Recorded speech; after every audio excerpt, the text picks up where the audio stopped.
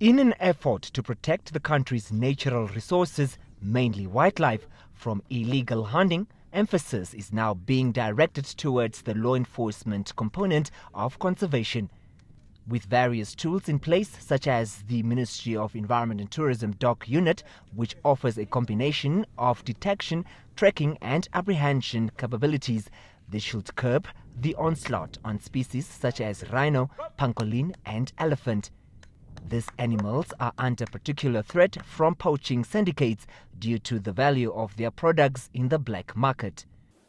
We are confident that this will be a formidable unit in a fight against wildlife crime and in the future they will also make a measurable and tangible difference towards um, augmenting current law enforcement and conservation initiatives. Evidently, progress has been made in curbing poaching incidents. Reported rhino poaching incidents peaked at 95 in 2015. That figure dropped significantly to only 35 incidents recorded as of August this year.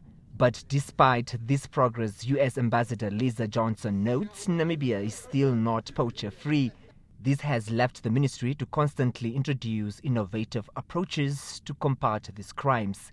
Currently, the U.S. government is funding ongoing projects in Namibia in the wildlife protection area that are valued at more than 20 million U.S. dollars. We want to stamp out that illegal poaching and wildlife trafficking that is harming Namibia's economy and affording opportunity for other criminal activity. Four dogs have been trained to search buildings, vehicles, and baggage, as well as look for ammunition and illegal wildlife products. During the inauguration of the Ministry of Environment and Tourism Dog Unit for Wildlife Protection and Law Enforcement at the Waterberg Wildlife Protection and Law Enforcement Center recently, Minister Shifeta called upon those involved in poaching to refrain from such activities.